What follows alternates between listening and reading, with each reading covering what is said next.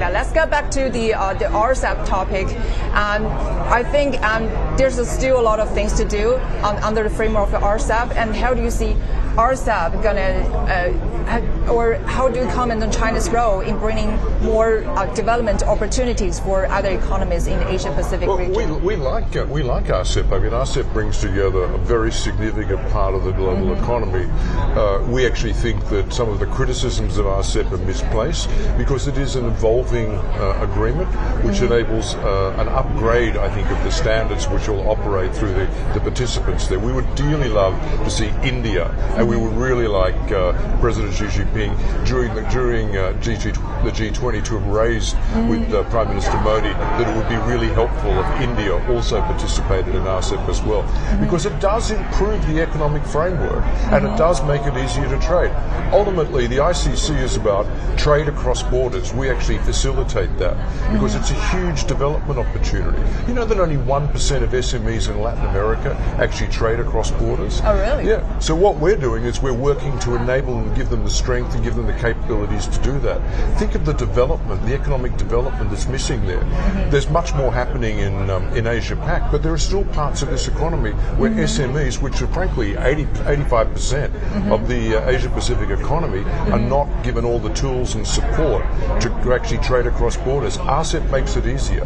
TPP or the CTPP makes it easier as yes, well. Yes, yes. You just mentioned the CPTPP, the Comprehensive and progressive agreement for Trans-Pacific Partnership.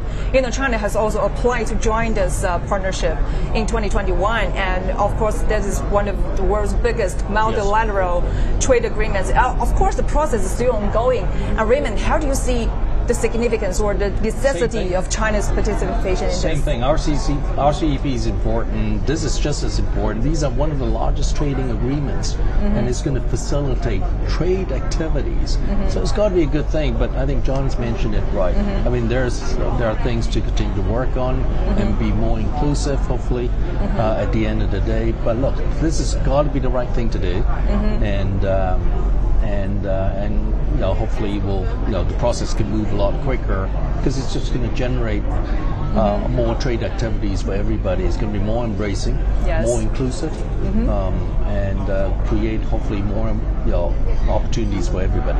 Okay, yeah. so what, what, I like about the Chinese application to actually participate mm-hmm. in that group is that it's an acknowledgement, first of all, that if you look at the, the quality, that's a very high quality agreement, okay, so it deals with state owned enterprises, it deals with, it deals with rules around digital. It's actually the highest quality agreement mm-hmm. operating.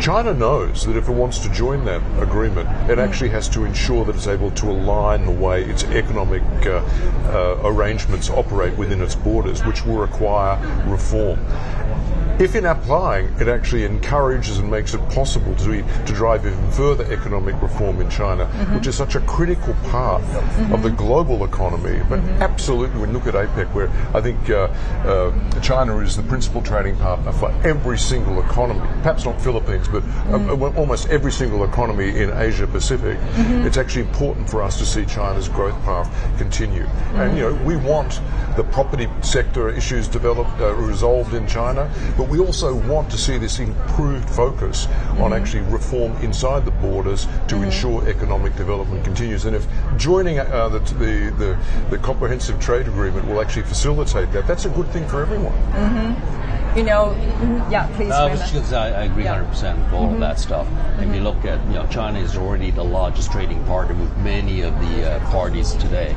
Yes. But these agreements just going to generate more activities, mm-hmm. and it helps to reform some of the reforms that we, you know, John mm-hmm. talked about, because it actually creates the impetus to do uh, to make some of those reforms.